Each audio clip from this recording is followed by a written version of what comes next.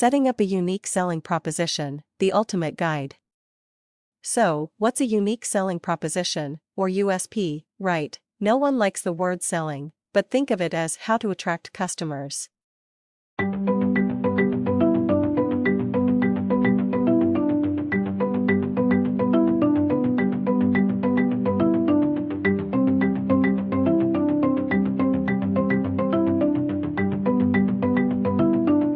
Your communication needs to change. Rather than yelling how you have great stuff, you want to boldly say, We are all about such staff, we do things differently. For example, have a spool over a few examples of USPs that have succeeded to keep their brands locked in the mind of consumers, head and shoulders, you get rid of dandruff metropolitan life, get met, it pays BMW, the ultimate driving machine. Federal Express, when your package absolutely, positively has to get there overnight. Promotion only forms a tiny segment of marketing, of course, promotion plays a crucial role in building your audience, no doubt about that, but promotion alone won't entirely structure for a poorly finished product or ordinary content. It's like, say, applying lipstick on a pig, for example, to build a successful business or a high traffic website begins with your approach. Trouble is, getting traffic isn't exactly what people perceive it to be. Marketers often confuse website traffic with promotion, but actually, it's a holistic marketing affair. Initially, it starts with your viewpoint. How do you perceive the world? Do you care to help your consumers? And it goes on like that to your products, service, customer relation, and then lastly to your promotion. To attract customers to your products needs working at every level of your industry, and the first stage should be your unique selling proposition. How do you find your unique selling proposition? Now that you already know unique selling proposition is essential to any business, how would you define yours?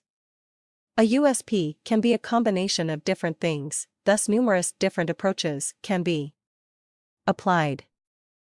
There's no precise answer to this while depending on what industry you're in, even the least amount of distinction could bring much superior shot at success. Here are a few simple ideas to get you started in knowing how to attract customers. What's your personality?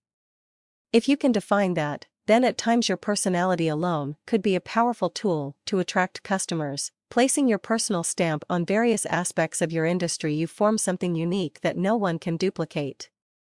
Seek intersection of ideas, your industry's area of expertise can be the starting point, and then you add something in mix so as to make it interesting and unique. Narrow your target audience, you can opt to narrow your target audience. For example, you can specialize as web designer for plumbers or blog about dentists. Imagine if you were the dentist and you need assistance with online marketing, would you rather opt for an industry that focuses in dentistry or just online marketing in general, don't try to please to everyone usually in creating a USP, there's that feeling that you'd lose out on some potential customers.